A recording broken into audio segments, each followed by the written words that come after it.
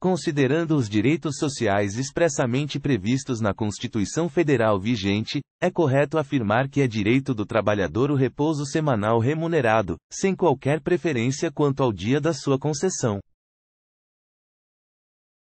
Analisando a questão, você responde: verdadeiro ou falso? O gabarito é falso. Artigo 7 são direitos dos trabalhadores urbanos e rurais, além de outros que visem a melhoria de sua condição social. Inciso 15. Repouso semanal remunerado, preferencialmente aos domingos.